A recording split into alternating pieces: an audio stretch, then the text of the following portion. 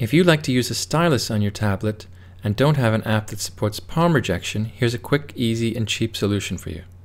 You could buy a tablet glove for about $25, or you could simply create your own for about 99 cents.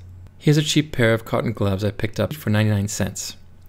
Now if I cut off the thumb and the top two fingers, uh, I have my fingers free to use the stylus, or touch with my fingers if I need to.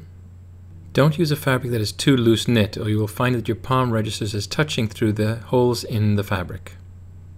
If you like to use the four finger multi-swipe, you might want to cut off the extra finger so you have your three fingers and your thumb and you can swipe between apps that way. With the glove on, I can use the iPad and rest my palm on it comfortably just as I would on a piece of paper. If you don't have a pair of gloves handy, you can use even the iPad smart cover or uh, a piece of cloth. For more quick tips, visit digitalartschool.net.